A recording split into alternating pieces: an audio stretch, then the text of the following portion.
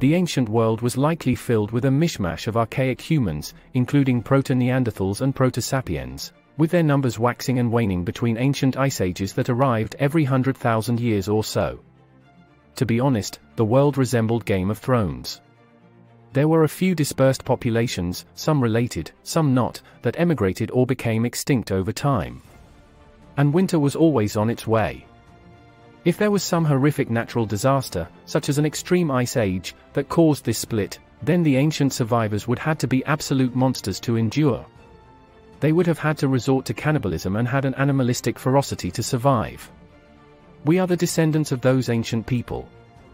The earliest known fossils of our species, Homo sapiens, have been discovered at an archaeological site in Morocco the human remains and stone tools discovered at the site date from 350,000 to 280,000 years ago. This new fossil evidence pushes back the earliest Homo sapiens lineage examples by more than 100,000 years.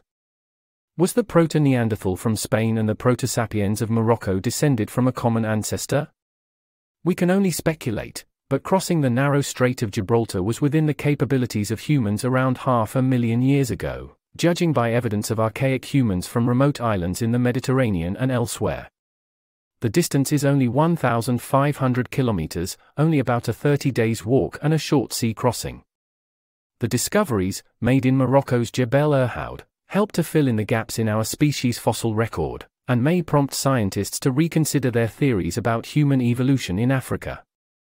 These discoveries are currently the oldest association of possible early Homo sapiens lineage members and Middle Stone Age tools. They elevate Morocco from a supposed backwater in our species' evolution to a prominent position. The first fossils were discovered in Jebel Irhoud in the 1960s, but their age was originally estimated to be around 40,000 years ago. Because these fossils did not fit into any existing theories of human origins at the time, they were regarded as a curiosity. Later research in the 1990s determined that the bones were between 200,000 and 100,000 years old. However, new research led by researchers from Germany's Max Planck Institute for Evolutionary Anthropology revealed that these fossils are even older. More human fossils were later discovered at the site, including a partial skull and a lower jaw, as well as stone tools discovered alongside the bones. The tools were aged between 350,000 and 280,000 years old using a technique known as thermoluminescence dating. Meanwhile, new research has shifted the estimated age of a previously discovered fossil tooth from around 160,000 to around 318,000 to 254,000 years old, putting it in the same time frame as the tools the researchers compared the shape of the Irhoud fossil skull faces to those of Neanderthals and other early and recent human relatives. Their research revealed that the Jebel Irhoud specimens resembled modern Homo sapiens the most on the face. The skulls, as early examples of the Homo sapiens lineage, exhibit a mix of modern and archaic human features. The Jebel Irhoud fossils have some primitive characteristics, such as a longer, lower brain case, strong brow ridges, and a large face and teeth, as one would expect from a 300,000 year old creature. But the delicate cheekbones and retracted face, as well as details of the skulls and teeth, and the shape of the jawbones, appear more modern. Nobody knows when Homo sapiens evolved from same ancestors of the Neanderthals. Indeed, current evidence from fossils and DNA indicates that the modern human and Neanderthal lineages split at least 500,000 years ago. As a result, we should be able to find early examples of both lineages. What's more, early Neanderthal fossils dating to around 430,000 years ago have been discovered at the Pit of the Bones site in Spain, but the earliest fossils discovered that look anatomically similar to modern humans date from around 200,000 years ago, and are from Omo Kibish in Ethiopia. Anthropologists are unsure how the Jebel Irhoud fossil material fits into the larger picture of Homo sapiens evolution in Africa but it adds to the complex picture of different human forms and lineages coexisting on the continent.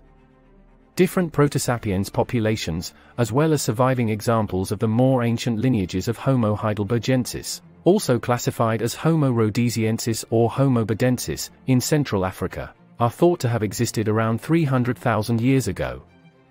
As a result, there is a significant gap in the story of how the Homo sapiens lineage evolved, which the Jebel Irhoud research helps to fill. Therefore, other fossil discoveries may need to be revisited. Truth be told, the African fossil record for Homo sapiens is lacking, compared to evidence from Eurasia. It is possible that earlier and neglected fossils from Morocco and Tanzania are even older members of our Homo sapiens species. As more examples of the early Homo sapiens lineage are discovered, the anatomically archaic modern divide is likely to close. Many scientists consider La Ferrassie 1 to be the classic example of Neanderthal anatomy.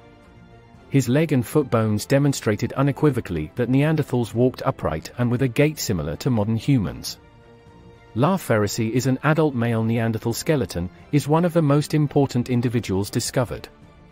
His skull, the largest and most complete Neanderthal skull ever discovered, exhibits many typical Neanderthal characteristics, such as a low, sloping forehead and a large nasal opening. His teeth, which have all been preserved, are heavily worn, indicating that he was older when he died. His front incisors have slanted wear that does not result from chewing. One theory to explain this unusual wear on his teeth is that he habitually held something between his front teeth, such as a hide, which he then scraped with a tool. Although this hypothesis is debatable, the use of teeth as tools may represent an extraordinary Neanderthal behavioral adaptation. This refuted French paleontologist Pierre-Marcellin Boule's earlier reconstruction of the La Chapelle-aux-Saints, Neanderthal skeleton, which depicted this species as hunched, brutish creatures. The Sima de los Huesos hominin, previously thought to be a member of the Homo heidelbergensis ancient human species, is now thought to be an early member of the Neanderthal lineage. According to scientists, the Sima de los Huesos hominin is a proto-Neanderthal. In fact, the appearance of Neanderthals has been linked to extreme Arctic conditions during the Ice Ages. However, the Spanish cave site 430,000 years ago was only slightly cooler and drier than it is today. Thus, if the Sima's ancestors were isolated from other early humans, their unique Neanderthal facial features could have evolved randomly through genetic drift and become fixed in the population. Archaic humans split off from other groups living in Africa and East Asia 500,000 to 400,000 years ago, during the Middle Pleistocene, eventually settling in Eurasia and evolving characteristics that would come to define the Neanderthal lineage. Modern humans arrived in Eurasia several hundred thousand years later, possibly from Africa. They interbred with Neanderthals, but showed signs of reproductive incompatibility even then. As a result, modern humans eventually displaced Neanderthals.